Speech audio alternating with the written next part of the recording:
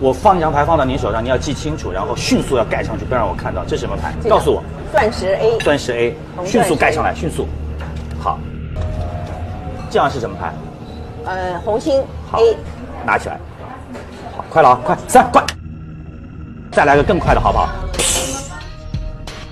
红心 A、钻石 A 都到我手上了，信不信？相信。必须要相信的，因为我手太快了。啊！哎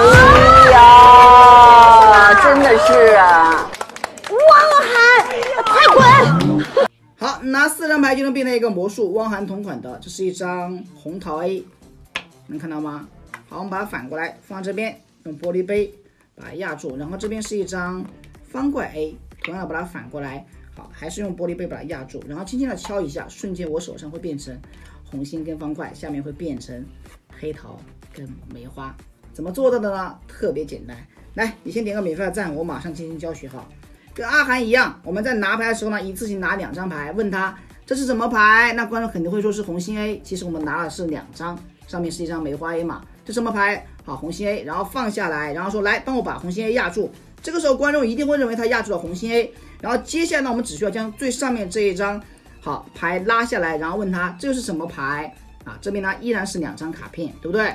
什么牌？钻石 A，OK，我们还是一样的，来帮我把钻石 A 压住啊，其实就变成了黑桃跟梅花了嘛。我手上就是红心跟方块，假如说啊，就变过来了，看懂没有？没看懂的话点个赞，收藏一下，反复观看，可以学会的，纯手法无道具。